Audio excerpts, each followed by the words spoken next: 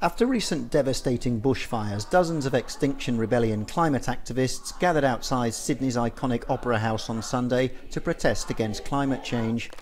Australia is the world's driest continent after Antarctica, and scientists say that leaves the country particularly vulnerable to weather extremes associated with global warming.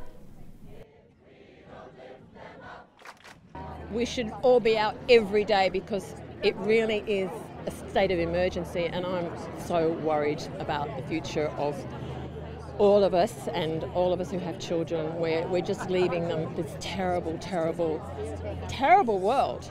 We've got no choice. I mean, you've, seen the air over the last few weeks. This is unprecedented fire conditions, and it's not just Australia, it's Indonesia, Amazonia, it's also happening in the Arctic.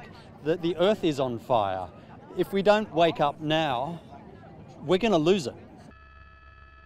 Earlier this week, Sydney was shrouded in a smoky haze as dozens of bushfires ripped across the state of New South Wales. The haze was so thick in some places that it was 11 times worse than the level considered hazardous.